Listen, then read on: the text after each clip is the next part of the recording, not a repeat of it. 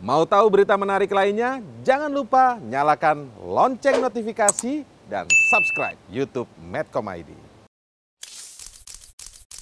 Pemirsa istri Heri Wirawan terdakwa kasus pemerkosaan mengaku pernah mendapati suaminya tengah berbuat senonoh dengan murid didiknya.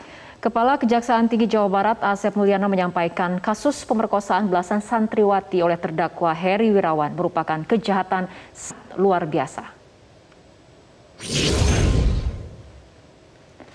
Hal itu disampaikan Kejati Jawa Barat Asep N. Mulyana dengan alasan bahwa kasus ini bukan hanya berdampak langsung pada saja, melainkan memberikan dampak dan keresahan sosial yang luas. Selain pengancaman yang bersifat fisik dan tindak pemerkosaan terhadap 12 santriwati, perbuatan terdakwa Heri Wirawan juga termasuk kategori ancaman psikis sehingga setiap orang rela melakukan apa pun untuk terdakwa. Bahkan dalam persidangan yang berlangsung tertutup ini, Istri terdakwa pun tak berdaya ketika melihat Harry melakukan asusila dengan santriwatinya. Ini kejahatan sangat luar biasa. Ya. Kejahatan luar biasa. Tidak saja kemudian berdampak pada korban, ya, tapi juga menimbulkan dampak dan sosial yang luas. Ya. Itu yang kami tangkap dari ahli. Yang kedua, ya, perbuatan tertua ini itu termasuk dalam kategori yang disebut dengan uh, ancaman fisis.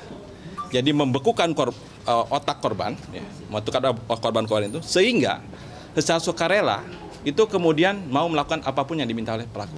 Ketika istri korban, eh, istri pelaku, ya, mendapati suaminya, ya, mendapati suaminya, itu kemudian pas saat malam dia tidur tidur bareng, naik ke atas tiba-tiba mendapati si pelaku itu sedang melakukan perbuatan tidak pada korbannya, nggak bisa apa-apa itu.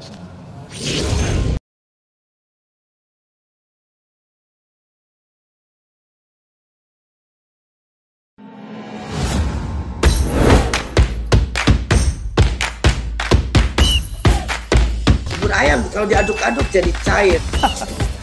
Seriously, diaduk kayaknya ya.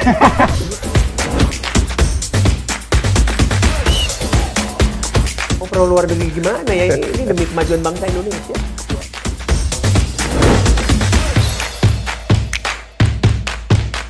Isu kebangkitan uh, PKI ini uh, dihentikan.